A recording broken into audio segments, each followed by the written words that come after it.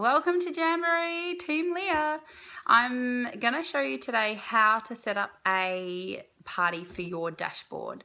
Um, it's important for you to have a party set up uh, once you start. Even if you haven't got your kit yet, just make sure you set up a party.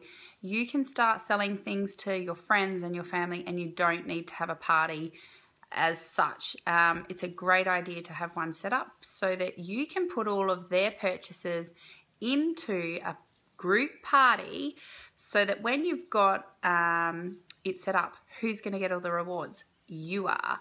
You're going to get the 50% off items and then you're going to get the free wraps as well. And no one has to know that you've set up a party or anything for um, your dashboard. No one can see it, only you. So let's do this. Set it up as a party on your dashboard. Now, we've got, just let me adjust you a little. So I've got everything set up and this is my dashboard. So yours will look very, very similar.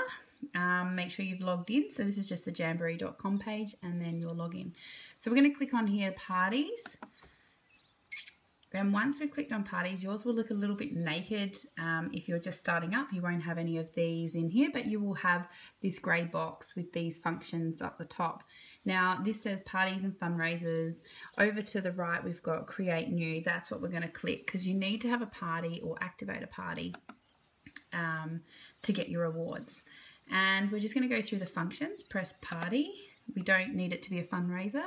It's not a referring party. It is your first party. Um, it can you can choose whether it's in line, online or in home. It doesn't really matter.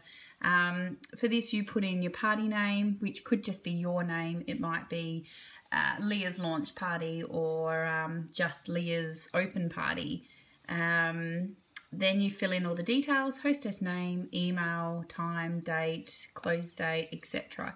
Make sure you've got a really long close date on it. The longer close date that you've got on it means that You've got four weeks to get as many orders as you want and you can have spent up to $150 by other people and get free postage. So your biggest reward will be that you get the rewards and they're all, all your customers are getting free postage. Once you've filled out all of this document, you press continue down the bottom.